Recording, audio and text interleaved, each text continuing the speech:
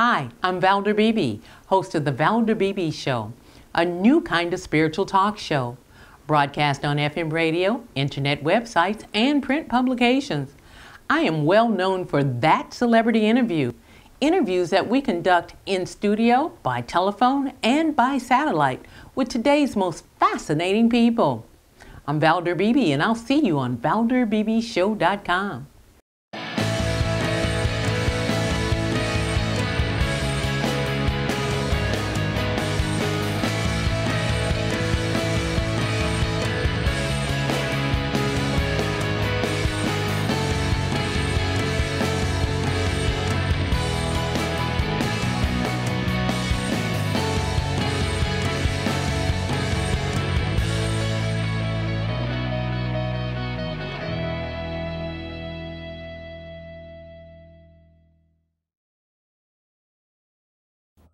Good morning, Dr. Devin Sherman. I want to thank you guys for joining us and Bill Pommy.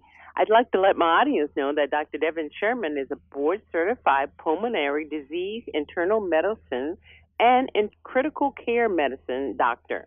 And Bill Pommy, he suffers from idiopathic pulmonary fibrosis, or also known as IPF. I want to thank you guys for taking the time this morning to let me talk with you for my audience. Thank you very much. So, we could start medically with Dr. Sherman. Dr. Sherman, what is IPF? Well, IPF is a, is a disease that affects about 100,000 people in the United States each year. And it's a disease in which the lung um, over time becomes scarred down, fibrotic, uh, where it doesn't move well. Um, and as a result of that, people have increasing amounts of shortness of breath and oftentimes a cough, um, and it can become quite debilitating over time. Do you have any numbers uh, that that can help us to understand how widespread this is?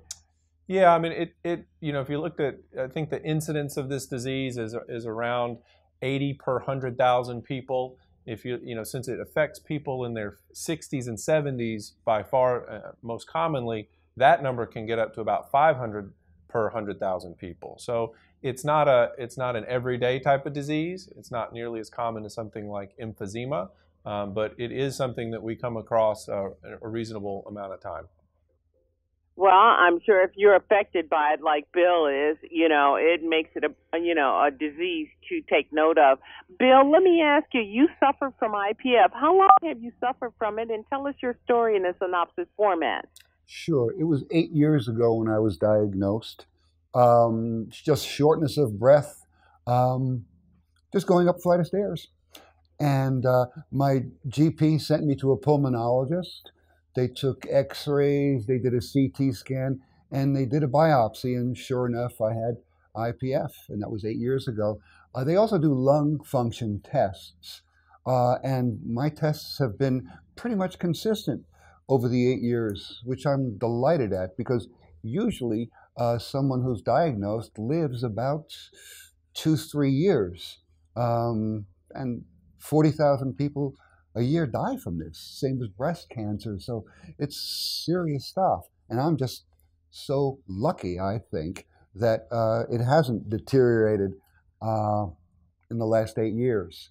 But I've, I've done things to make uh, myself aware of it and do whatever I can. I do pulmonary rehab, which is very important. I do take medication that my doctor recommends. In this case, it's Esbriet uh, I do mindfulness, which is very, I think, very important. And, and Those are all those are all good prescriptions. Dr. Sherman, thank you, Bill, for sharing that. Dr. Sherman, let me ask you: Are um, are there any resources for people with IPF? Because he says he does a lot of things, but I know some of those require resources. Absolutely. So being self-aware of your diagnoses and, and, and having some empowerment is obviously very important as well as having a community which you can, you know, share your experiences with because you can feel pretty lonely if you've got a, a, a, you know a diagnosis that's not very common. So a great mm-hmm. resource that has a lot of information is pulmonaryfibrosis.org, um, and that one is a, a, great place to start. If if you've got the disease and you have more interest in some of the things Bill was discussing, like uh, mindfulness, which is a great technique to calm, you know, deal with some of the anxiety and emotional aspects of this, mindful-ipf.com is a great resource for that.